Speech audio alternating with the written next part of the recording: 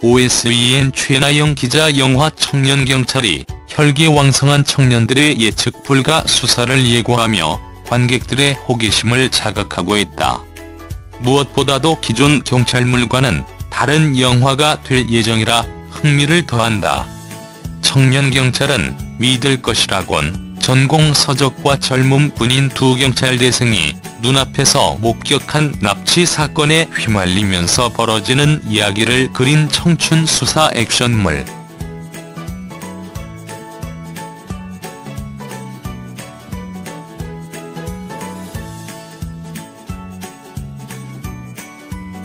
본격적인 수사는 학교에서 잠시 외출을 나온 기준과 희열이 우연히 납치 사건을 목격하면서 시작된다.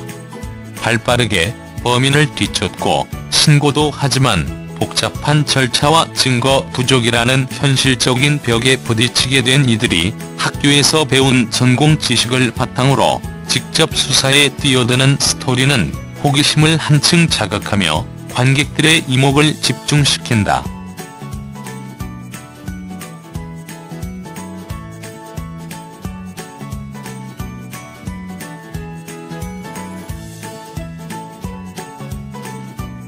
청년경찰은 이러한 설정을 적극 활용하는 스토리로 기대감을 더욱 높인다. 납치 범죄에서 피해자가 살해될 확률이 가장 높은 시간인 critical hour를 기준으로 두고 빠르게 움직이는 두 청년은 수사의 세 가지 방법, 현장, 물품, 피의자 중심의 수사를 펼친다.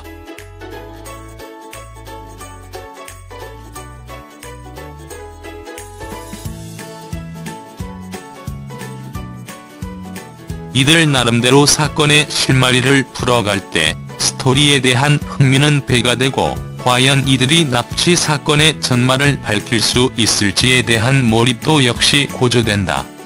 하지만 모든 이론이 실전과 같을 수 없는 법.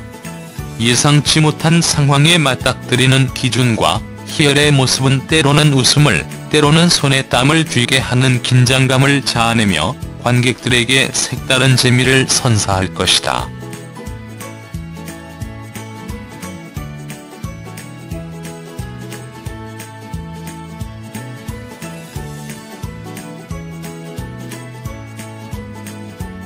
여기에 기준과 희열이 아직 경찰이 아닌 경찰대학의 학생이라는 점은 그게 또 다른 재미를 더한다. 이들은 범인을 제압할 장비도 없고 결정적인 순간에 진짜 경찰의 도움이 필요한 상황을 마주하게 되는 등 한계에 부딪힌다. 두 캐릭터가 겪는 이러한 딜레마는 기존 수사극에서 쉽게 볼 수 없었던 것이다. 청년 경찰은 오랜 기간 다양하게 편주해온 경찰 영화 기부의 새로움을 선사할 것.